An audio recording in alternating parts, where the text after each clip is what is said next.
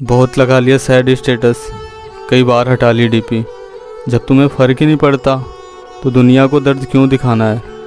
हाँ तरसूँगा तुमसे बात करने के लिए, पर कसम से अब तुम्हें अब तुम्हें फ़ोन नहीं लगाना है, और काश माँ से लिपट कर रो लेते तुम्हारे बारे में बताकर।